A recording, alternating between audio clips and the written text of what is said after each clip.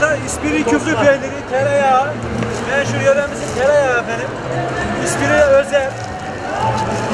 Buyurun. Kaymaktan yapılmış 2000, e, 1600 rakım, 2000 rakım. Balımız sık. mi? Trabzon'a mı? İspir'e ait ya. Ben Trabzon niye olsun biz Erzurum'dan geldik. Erzurum, Erzurum'a ait. Erzurum. Şimdi bu tel peynirdi herhalde değil mi? bu? Evet, küflü peynirimiz Küflü peynir. Küflü peynir bu efendim. Bu bal Karakoğan balımız efendim. Karakoğan balığı, bu da karakoğan balığı, tetek 120 balığı. lira. Diğeri Bunlar 60 da karakoğan balığı. Bunların e, arı dişini, ortadaki bağlantıyı falan hepsini arı yapıyor. anladım. Ee, petekler de mi doğal?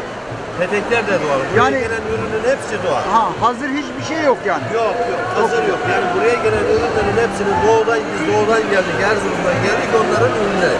Anladım. Doğal yöremizin ürünleri. Ee,